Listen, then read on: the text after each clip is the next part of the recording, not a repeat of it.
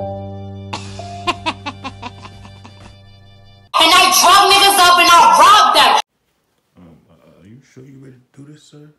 I'm ready to tell my story, brother. But listen, before we go any further, I just gotta ask you. My face gonna be blurred out, right?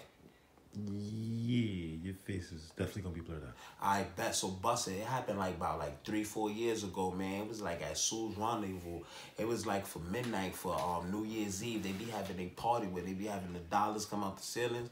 I met Shorty over there. Be like, Shorty used to always say she wanted to be a rapper and everything like that. But you know, we ain't pay that shit no attention. We just wanted to smash. Like, I just wanted to get my nut off, you feel me? So I told Shorty, like, pull up to the brib, like, let's chill. She came through and shit like that. Shorty did me filthy, be like a nigga woke up in his drawers in the hallway, be like I was just knocked out, be like I was in my drawers, like the boys came, they looking at me like I'm the suspect, they about to run down on me. I'm telling them I'm locked out in my crib, like to this day, be like I have nightmares, be every time I turn on MTV or VH1 and I hear that, oh, no, no, no, no, no, no, no, no, no, it fucks my head up, be like I swear to God, I've never been the same, be like every time I, bro, bro, I, like bro, bro, why she did this to me, be like, wow, bro, like.